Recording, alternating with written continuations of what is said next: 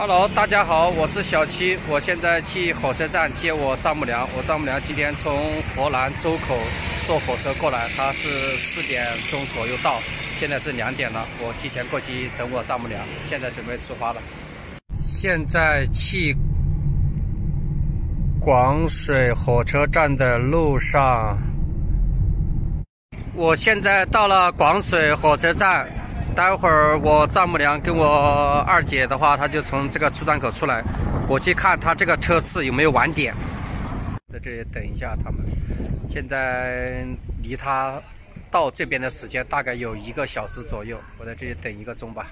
刚刚我老婆发信息过来跟我说，呃，我丈母娘这个车晚点半个小时，我躺在车里睡一下觉，等一下来了就有精神开车吧。因为火车站离我们家有二十多公里，现在到了四点半，因为这个车已经晚点半个小时，我现在还在这里等。因为我丈母娘从河南赶过来，大概全程有三百五十公里，预计的话时间是四个小时十分左右，结果晚点了，大概要五个小时左右，所以说应该特别辛苦。待会儿我现在去出站口这里站着等吧。我提前了两个多小时在这里等待，因为丈母娘这么远过来，我必须表示我的礼节，所以说提前在这里等待。因为这么远过来一次也不容易，所以说女儿远嫁嘛，都挺不容易，走一次亲戚也很麻烦。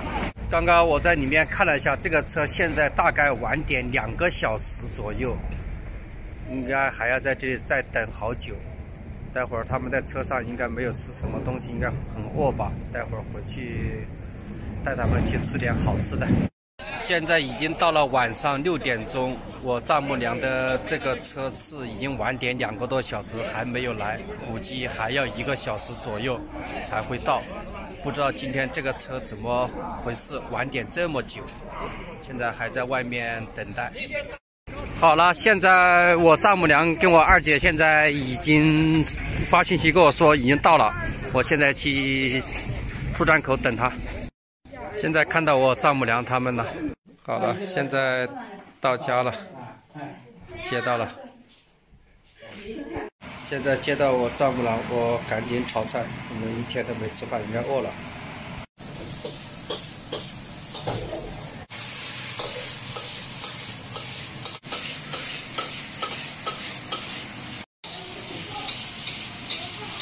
好了，菜都炒好了，准备吃饭了。